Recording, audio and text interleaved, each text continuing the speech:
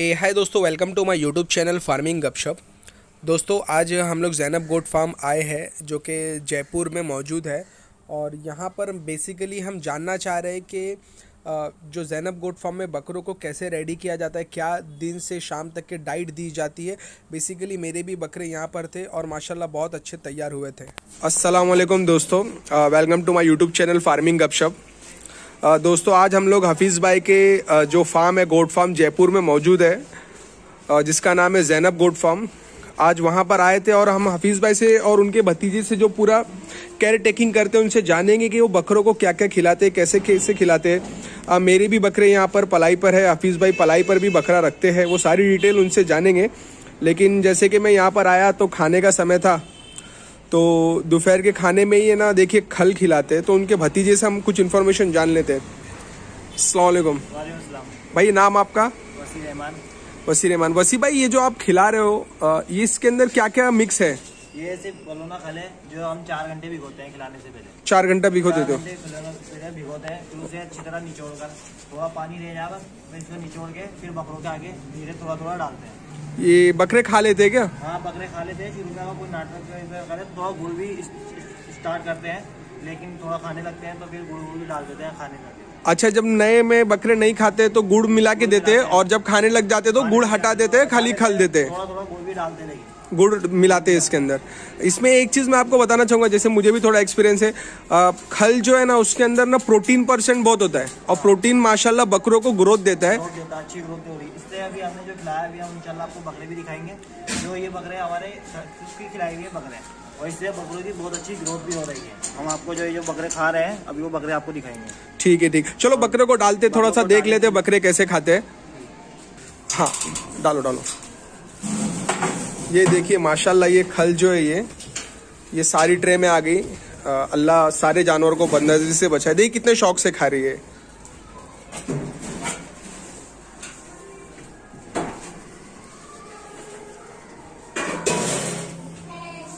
अच्छा वसी भाई ये अ, हमेशा डालते हो या मीन्स एक आध दिन आड़ करके? नहीं अभी हमेशा डाला डेली डालते हैं उसको? डालते हैं। ये सर्दी सर्दी खिलाओगे या मीन्स पूरा साल? हाँ थोड़ा गर्मी में इंशाल्लाह ये अच्छा खाएँगे अभी थोड़ा सर्दी में थोड़ा बकरे गीला होता है तो हाँ, हाँ। होती है तो इससे कम खाते हैं। लेकिन इंशाल्लाह गर्मी में अच्छा खाएँगे। लेकिन माशाल्लाह अल्लाह बदनजरी से बचाए भाई बहुत शानदार तरीके से खा रहे हैं। माशाल्लाह। देखिए माशाल्लाह अल्लाह इन सब जानवरों को बदनजरी से बचाए बहुत शौक से खा रहे हैं लोग। अब माशाल्लाह देखिए जैनब गोट फार्म में पहले उन्होंने दोपहर में वो खिला दी खल है ना? और खल के बाद देखिए अभी ये गेहूँ है और गेहूँ के अंदर क्या क्या मिश्रण आएगा वो हम पूरी आपको एक साथ चीज़ें बताते हैं। अच्छा वसी भाई वो तो गेहूँ आ गया। अब ये क्या है इसके अंदर? ये है चने की चुनी चने की चुनी तो सिर्फ़ चने की चुनी है या कुछ और चीज़ इसके अंदर मिली हुई है? ये चने की चुनी है अभी इसमें गेहूँ मिक्स इसमें गेहूँ मिक्स और बताइए कैसे मिक्स करते हैं एक बार।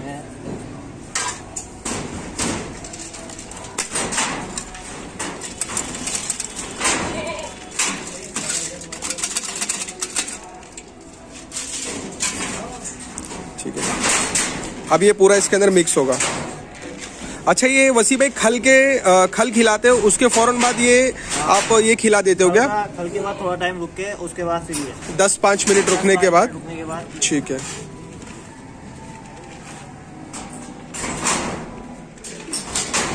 ये देखिए माशाल्लाह बकरों को भी पता है कि अभी उनके लिए खाना आने वाला है। तो माशाल्लाह देखिए कितना बेचैन हो रही है ये देखिए माशाल्लाह। खल अभी मेरे सामने डाली थी, माशाल्लाह, और सारे बकरों ने देखो खल खा लिए और फिर चूनी और ये गेहूँ का जो मिश्रण है, माशाल्लाह, देखिए ये खाने। पूरी जानकारी लेंगे इनशाला आज क्या क्या फार्म पे, जो जैनब गोट फार्म पे बकरों को खिलाया जाता है इनशाला और हाफिज भाई पलाई का भी सेटअप चलाते हैं। तो माशाल्लाह, कम बकरे रखते हैं, लेकिन बकरे अच्छे तैयार होते हैं।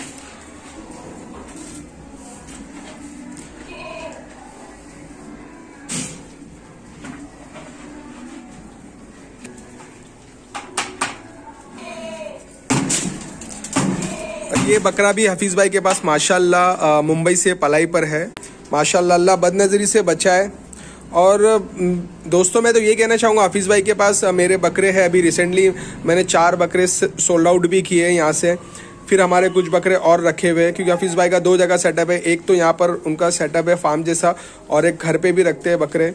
और नए हमारे बकरे भी आएँगे इनशाला लेकिन मेरे बकरे मुंबई में भी दोस्तों। मैं आपको दावा के साथ कहना चाहूँगा कि जो यहाँ पर खा पी के बकरा तैयार होता है। मेरे बकरे मुंबई में तो नहीं तैयार हो रहे ये तो मैं आपको श्योरिटी के साथ कह सकता हूँ।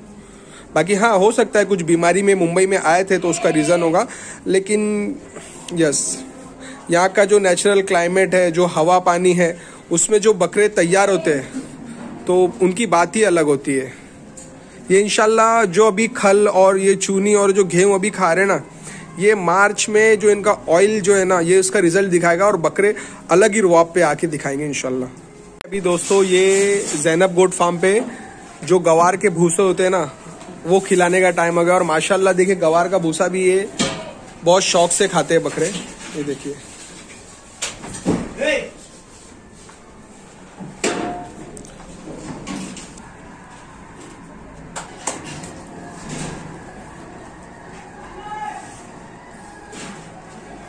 अच्छा वसी भाई, मैं आपसे कुछ चीज़ जानना चाहूँगा। जैसे आप अभी ये गवार का भूसा डाल रहे हो, ठीक है?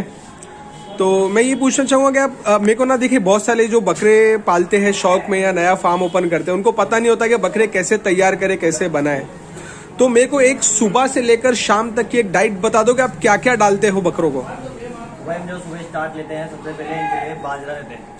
बाजरा हम पका के देते हैं जो जो जैसे हम रात को भिगो देते हैं बाजरा फिर सुबह उसे हम पकाते हैं अच्छी तरह। ओके। पकाने के बाद थोड़ा थोड़ा बकरों के आगे डाल देते हैं गरम गरम ओके। थोड़ा एकदम गरम नहीं कम गरम। बस बकरों को भाप आए उसे थोड़ा थोड़ा गाँव बाजरा डालते हैं। फिर जैसे वो बाजरा फिनिश करने के बाद उसको थोड़ा थोड़ा सा भूसा डालते हैं। मतलब सुबह में आप सब में पहले बाजरा को पकाते हो और सिर्फ़ बाजरा पकाते हो। उसके अंदर गुड़ या कुछ और मक... गुड़ डालते हैं और तेल भी डालते हैं। तेल अच्छा तेल सरसों का डालते होंगे। सरसों तेल और ओके सरसों का तेल गुड़ ये बाजरा गर्म करके पका के सुबह ये आपने दे दिया। फिर उसके बाद आप क्या खिलाते हो बकरों को? भूसा भूसा कौन सा डालते हैं? ओके ये गवार। का भूसा डाल देते हैं। ठीक है माशाल्लाह गवार के भूसे की एक बात बताऊँगा कि ये बकरों के लिए डाइजेशन के लिए भी बहुत अच्छा होता है और बकरों की ग्रोथ के लिए भी अच्छा होता है। बकरा पसंद करता है बकरा खाना पसंद करता है। इसके अंदर फाइबर कंटेंट भी होता है तो माशाल्लाह ये डाइजेशन के लिए भी अच्छा होता है, और ये इसके अंदर प्रोटीन भी होता है तो सारे जो मिनरल्स होते हैं तो ये बकरे को ग्रोथ भी होता है। अच्छा ठीक है, आपने सुबह उठे, पहले बाजरा डाल दिया, फिर भूसा डाले, फिर उसके बाद की रूटीन फिर उसके बाद जो हमने आपको बलोना बलोना खल है उसको चार घंटे भिगोगे उसको बलोना खल डाल देता है फिर जब बलोना खल फिनिश कर लेते हैं, चुन्नी लेते हैं, चुन्नी और उसमें भिगा हुआ गेहूँ। गेहूँ रात को भिगोते हैं फिर उसको चुन्नी और उसको दोनों को मिक्स करके बकरों के आगे थोड़ा डाल देते हैं। एकदम नहीं डालते पहले बलोना कल फिर थोड़ा रेस्ट देते हैं पंद्रह पंद्रह मिनट का फिर उसके बाद से चुन्नी और गेहूँ मिला के डालते हैं। ठीक है मतलब जब बकरा वो एकदम फिनिश कर लेता है फिर उसके बाद फिर थोड़ा बहुत लूँ और फिर उसके बाद दवा जाता है। ठीक है अच्छा थोड़ा सा मैं समझ जाता हूँ। पहले तो आपने सुबह में उठा बाजरा डाल दिया। बाजरे के बाद आपने जो है उसको भूसा डाल दिया गवार का। फिर उसके बाद आप चूनी कितने बजे डालते हो? चूनी हम देते हैं उसे बारह बजे बाद। बारह बजे के बाद आप खल देते हो पहले? पहले खल देते हैं ठीक है। चूनी चूनी। ओके मतलब पहले आपने बारह एक बजे के आसपास एक बजे के आसपास आप पहले खल डालते हैं फिर बीस पच्चीस मिनट बाद आप चूनी डालते हो। फिर उसके बाद शाम में क्या रहते हैं डाइट? शाम में गेहूँ। डालते हैं। गेहूँ भिगा के डालते हैं या भिगा हुआ। गेहूँ डालते हैं? ठीक है शाम में फिर गेहूँ डालेंगे उसके बाद? फिर उसके बाद भूसा मतलब माशाल्लाह पाँच से छः बार बकरों को जो है डाइट दी जाती है। ठीक है। अच्छा ये सब में बड़ा आपका एडवांटेज जो मेरे को लगता है ना, क्योंकि मेरे भी बकरे पले हैं तो माशाल्लाह मैं एडवांटेज बताना चाहूँगा कि आप जो पाँच से छः टाइम जो खाना खिलाते हो ना बकरों को, उसका सब में बड़ा फ़ायदा है कि बकरों को जो ये गैस नहीं होती होगी। जो भाई हम जो बीघावा देते हैं, उससे बकरों को डाइजेशन में आसानी होती। है जिससे ना बकरे के कोई गैस नहीं बनती, जैसे बीघा हुआ गेहूँ देते हैं तो वो आसानी से बकरा हाथ में ले लेता है। और लेकिन अगर थोड़ा सूखा डालते हैं तो किसी बकरे केस होता है, वो थोड़ा ज़्यादा खा गया, कोई छोटा बकरा, बड़ा बकरा, साठ डलता है मीस तो कोई ज़्यादा खा जाए तो उससे डाइजेशन में प्रॉब्लम होती है जिससे गैस बन जाती है। तो इस वजह से हम सब भीगा हुआ देते हैं, जिस बकरे को डाइजेशन आसानी डाइजेशन ओके माशाल्लाह। अच्छा एक चीज़ पूछना चाहूँगा, जैसे पलाई का रेट आप मेरे को बता सकते हो? क्योंकि हो सकता है, जैसे मैं खुद मुंबई से हूँ, मेरा बकरा यहाँ पर पल रहा है। ये भाई भी हमारे मुंबई वाले हैं, माशाल्लाह, उनका भी देखिए शानदार बकरा है कलरफुल ये भी पल रहा है है ना? कुछ और बकरे आपके घर पे रखे हुए, वो भी मुंबई। तो पलाई रेट मुझे बता सकते हो क्या है महीने का? ढाई हज़ार रूपए। ढाई हज़ार रूपए माशा ठीक है, माशाल्लाह, आपसे बात करके बहुत अच्छा लगा। अल्लाह कामयाबी दे, बरकत दे। है ना? चलो, अल्लाह हाफिज भाई। दोस्तों वीडियो बनाने का जो मकसद था, वो ये था एक कि लोगों को इन्फॉर्मेशन शेयर की जा सके, जो नए लोग हैं, वो बकरे को दिन में क्या क्या खिलाए और बकरे को कैसे रेडी करें।